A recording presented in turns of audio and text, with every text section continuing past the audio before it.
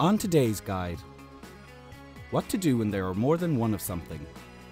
Making plurals. Computers are easier to use than they seem. We discover how to use the internet to plan a trip.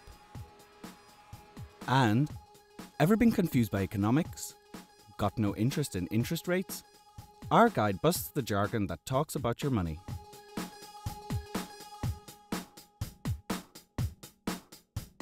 Seems like these days information comes at us from all angles from newspapers, phones, the internet, radio, and from television. The way information is given to us through the media has changed over the last few years. For example, someone can now use the internet to watch the weather change at this very moment in Siberia if they want to. The internet has made local stories available throughout the modern world.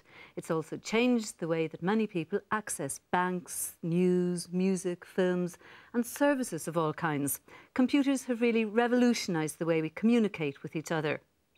The internet can help us to find out things we want to know more about rapidly and efficiently, more than we ever could have imagined. Of course, there's more than one way to source information. When we talk about more than one, we're referring to plurals. And here are some tips on how to spell when there's more than one of something.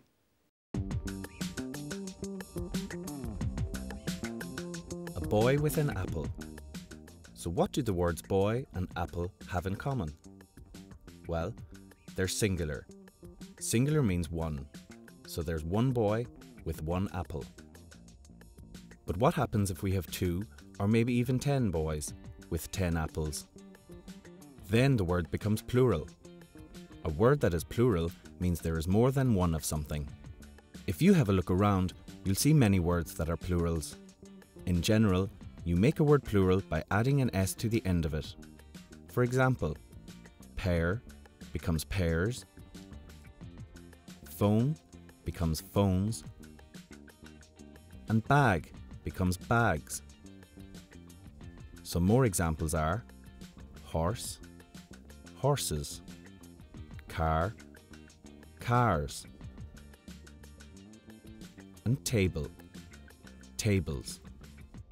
We'll be showing you some more examples later in the programme. Plurals are all around us, and when we're writing, they're very common. So we'll be looking at more plurals later. Now, though, we're joined in studio by Kevin O'Duffy from Offaly and by Tommy Gibbons from Sligo, who've both gone back into education recently. Tommy, what courses are you doing at the moment then? At the moment, I'm doing adult literacy. And I find it ever so useful on that because anytime I used to be out shopping and things like that, I wasn't too sure of the change I was getting. Now, before ah, I go to the checkout, I can exactly know what I have to pay. Yeah. And then from them there, you can go on to other things. And I also done computer courses in there as well. I done a level four computer course. I've always been confused about computers and that, and um, now this has cleared everything on for me, and that, and I use the computers quite a lot. Kevin, what courses are you doing at the moment then? At the moment now, I'm just starting uh, the Leaving Cert course, Brilliant. which is a two-year course. Um, prior to that, I had, did the junior cert in English and I've also done the junior cert in maths.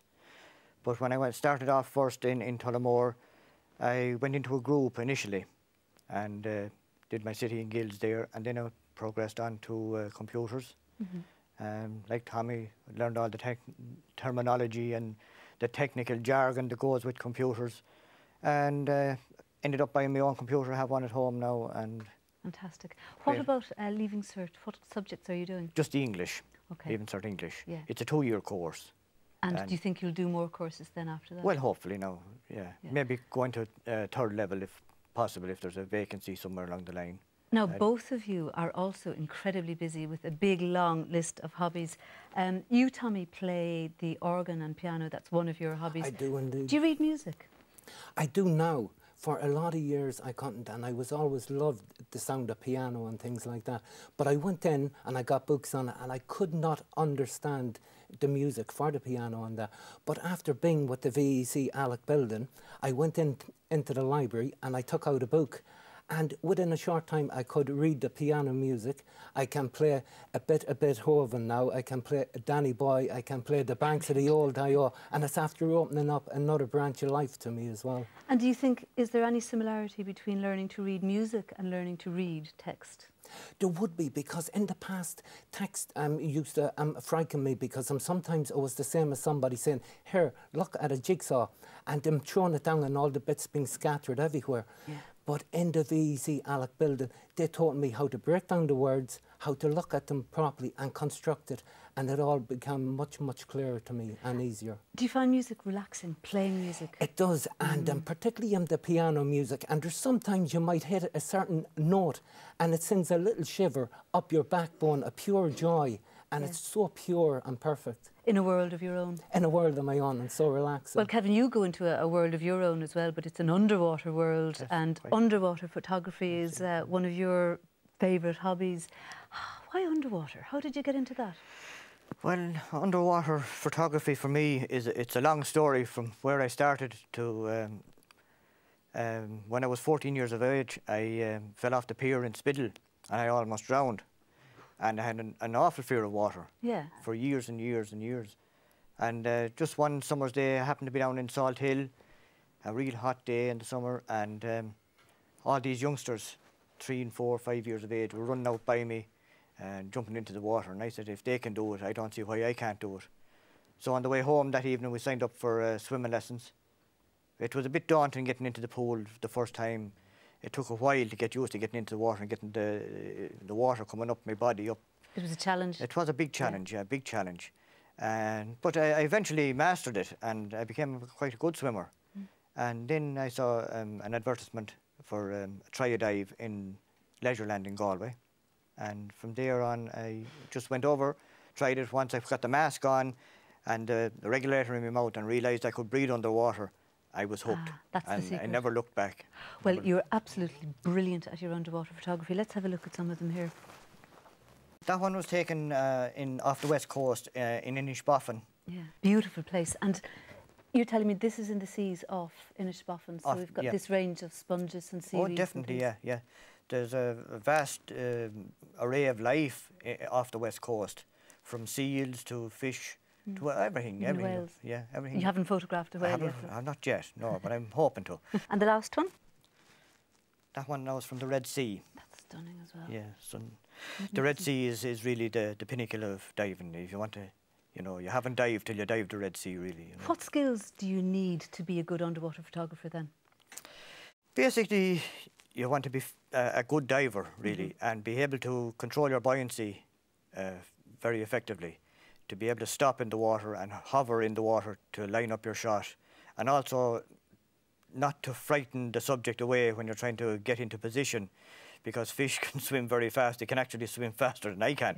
And But- some of them have teeth. and some of them have teeth, yeah, very sharp teeth indeed. But um, no, just to be able to hover in the water, get your buoyancy right, it, it's really the key thing. And I suppose have a good eye for for uh, some Yeah. Uh, shot or whatever. You know? Now, Tommy, art is another interest of yours as well, as well as um, playing the piano. Um, and you even brought in a painting I that have indeed. you painted especially for the programme. And spent it especially in for the program.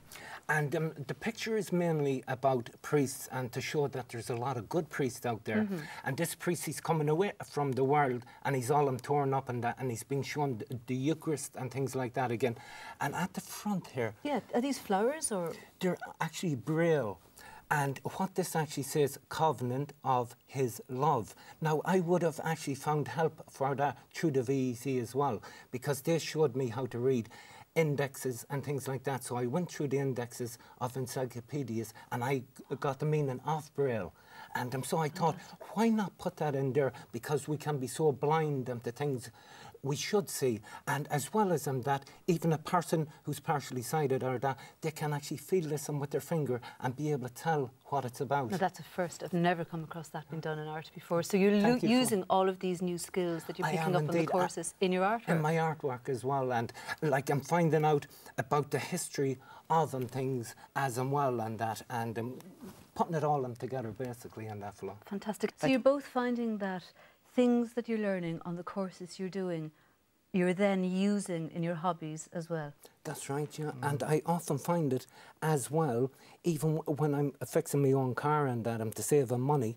And um, before car manuals and that, there were always a bit of problem on the time and on the tappets and that. Now I find it easier to read the instructions, go ahead, do my own time and do the tappets, make the car more economical and save on the money as well. Fantastic. And speaking of money, Kevin, you're selling some of your photographs. That's now, right, yeah. You? They are for sale, yeah, yeah. So that's so I have, I have sold a few of them, yeah. Uh, but I also ha I had an exhibition in Ballinasloe. Uh, I had a lot more photographs, you know, but uh, most of them are sold now. So. Yeah. Well, more and more people are using the internet to book trains and planes and hotel rooms, tours, and even to source other travellers' opinions on hotels and resorts.